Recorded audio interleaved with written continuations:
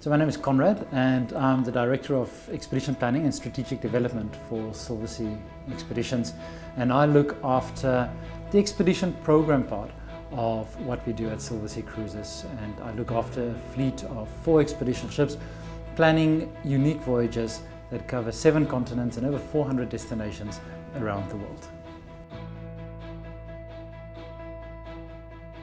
So expedition cruising in my mind really is about the destinations and it's how we interpret the destination. You know, a lot of the destinations that we visit with our expedition ships are also visited with regular tours or normal cruising, but it's what we actually do at these destinations that set an expedition apart from a regular cruise or a land tour or just a tour on your own.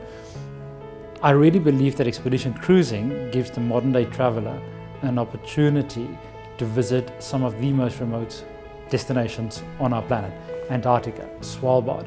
But it doesn't have to be that remote. You know, it could be uh, St. Kilda and the Outer Hebrides. It is about learning about the destinations from an onboard expedition team, lecture staff that specialize in their topics. It becomes more about the destination than the ship. The ship, in our case, is a luxury platform. You know, in the past, expedition travel used to be very, very basic ships. Uh, bunk beds, shared facilities, pretty bad food. And with Silversea Expeditions, we use luxury ships to go to these remote destinations.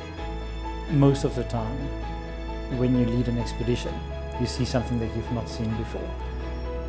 The destinations that we visit, such as Antarctica, will be experienced differently every single time you go. It is impossible to go to these destinations and take it all in the first time. So even though we're, you know, expedition travel is group travel, um, and you have between 100 and 200 guests traveling with you on these expedition ships, the ships are maneuverable and the itineraries are very, very flexible.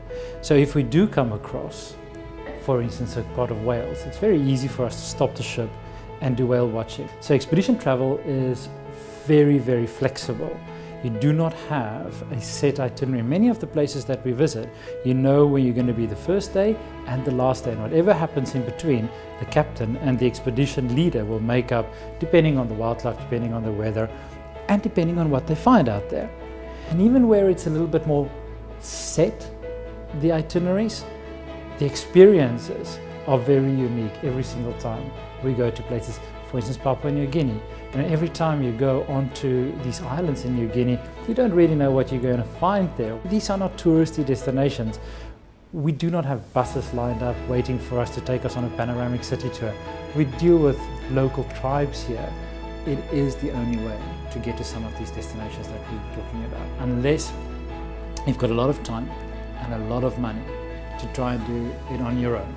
Now an expedition cruise is not inexpensive by no means, absolutely not. But it's incredibly good value for money. We have done all the work, all the research, so we know what to do when we get there and we do it in a comfortable, safe environment.